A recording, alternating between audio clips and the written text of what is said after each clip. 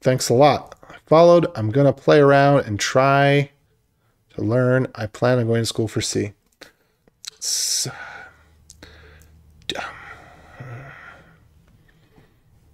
C is a terrible language that should not be used in the modern age. It is, what, 50 years old?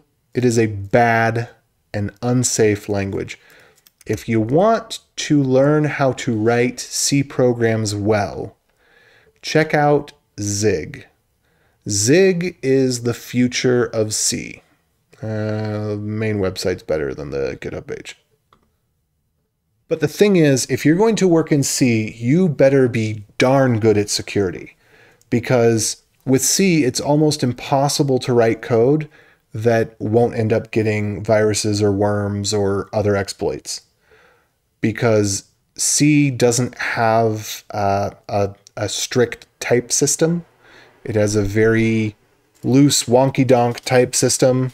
So when you hear people complain about, well, loosely typed languages or dynamically typed languages, C is kind of the ancient equivalent of a dynamically typed language. It's not dynamically typed per se, but it kind of is. You can just throw memory locations around, they're all unchecked. It's really, really bad.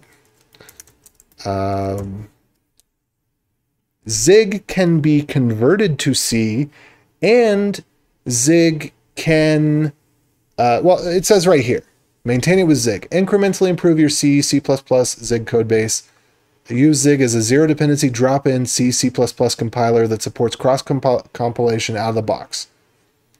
So if you think you want to be a C developer, I would recommend that you start learning Zig. And then when you have to use C for some reason, you've got something that can help you make it more fail safe and integrate into modern code. Now, I'll tell you this very few people are using Zig, but it used to be very few people were using Go, and now the whole internet has essentially been rewritten in Go or Rust, all the infrastructure for the internet. Um, and I think that Zig fills a niche like that. So right now, there are only a very few jobs available in Zig. But if you're looking at, you want to go to school for something, you're looking five years out, what the job market's going to be like then, Zig experts are going to have a place. That's my prediction. I could be wrong, but I think that Zig really feels fills an important niche and is getting a lot of traction. So I would not and and let's say it goes nowhere. Well, if you for some reason decide that you want to go into the C market, it will have prepared you better than any of your peers. Even even if if it doesn't become as big as Go or Rust. But I think, well, it already is. It already is because Bun is probably the first killer app written in Zig, and Bun is making big headway in the the JavaScript on the edge, and it Bun is poised to become essentially the next node.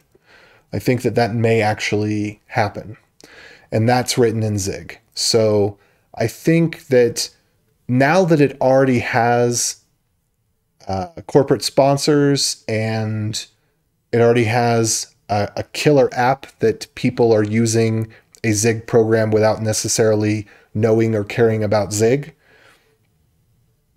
If I'm wrong, I don't think I am on this one.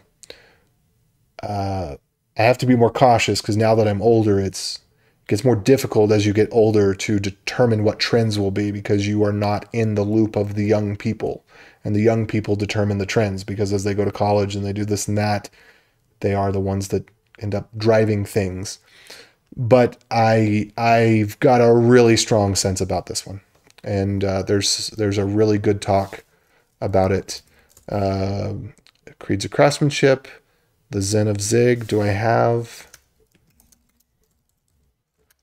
Uh, do I have the the road to Zig? Here we go.